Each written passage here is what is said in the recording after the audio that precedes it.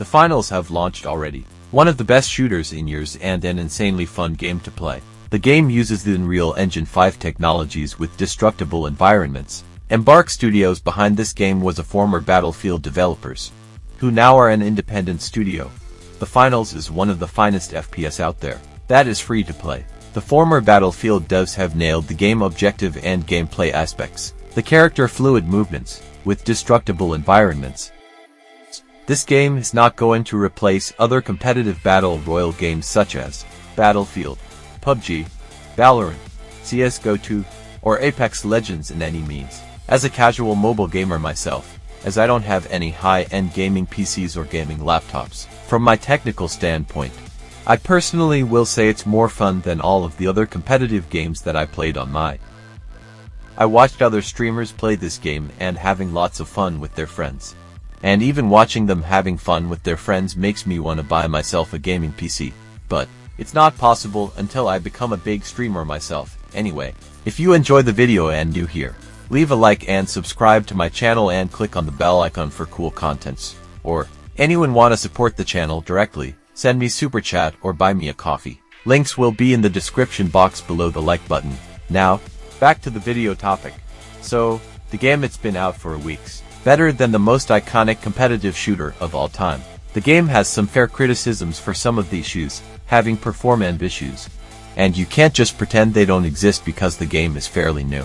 This is not a battle royal where 100 players last standing team wins. There are some balancing to do with the guns, but it's not game-breaking meta or anything to go by. Especially the stun gun range is absolutely ridiculously, right now in the game. What you can take for granted is that these devs know how to balance their games better than most of the other major game development studios right now. The Finals is a PvP game and just like every other title in the category, it features multiple game modes. The Finals has a total of three game modes which are Quick Cash, Bank It, Ranked, and Unranked Tournament.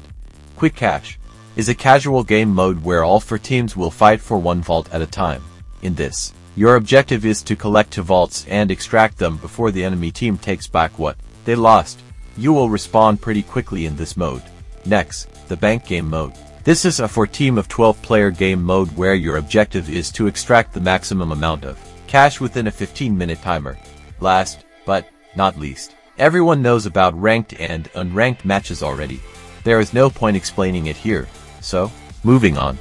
The game have three classes to choose from, light, medium, and heavy class. Each class has three abilities. Lots of weapons to choose from and tons of gadgets for to equip in the game. The light class is very agile, offers fast movement through the map. Now, as light as feather, you can choose between 8 different weapons and 11 gadgets at your disposal. As for the weapons, you can choose suppress pistol, SMG revolver, sniper rifle, a samurai sword, and only three gadgets you can equip at a time.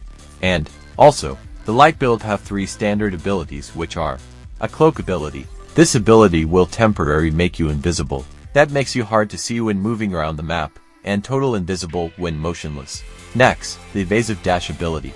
You can close distance between you and with the other team you're fighting or dodge incoming bullets. With this ability, although you're not Neo Anderson in the Matrix movie to dodge all the bullets coming at you. Next, the grappling hook. Nowadays every game have a grappling hook feature implemented in them. This is a rope with a hook you can launch to scale structures and swing past walls. Also handy for a quick escape in and out of the combat. Next, we have the medium class.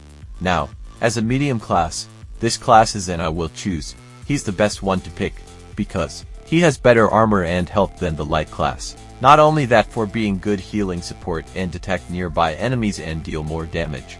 Capabilities, as a medium class, who looks ripped ribs and well-maintained physics. You can choose 6 different weapons and 15 gadgets, although only 3 gadgets can equipable at a time. Now, coming to weapons, you can choose assault rifle, battle rifle, grenade launcher, action shotgun at your disposal. This class also have 3 different abilities, which are First, the healing laser beam. This laser beam can heal your teammates while also providing support for the team if used, utilized properly. The second your teammate health decrease midway battle, while you can still be able heal them and get in the fight swapping between to your other weapons, helping your teammates to catch some breath. Next is the recon vision. This ability traces nearby enemies through walls, showing where they are exactly on the building. And also, the recon vision ability will decrease if the enemy moves further away from you. And the last ability, the dome shield. You can place this blob of bubble shield on the ground. This shield will protect you and your teammates from incoming projectiles. And your teammates can shoot through the shield for 20 seconds or if the shield is destroyed.